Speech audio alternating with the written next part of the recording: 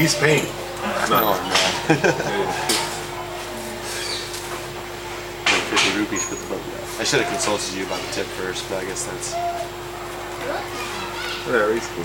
yeah. Um,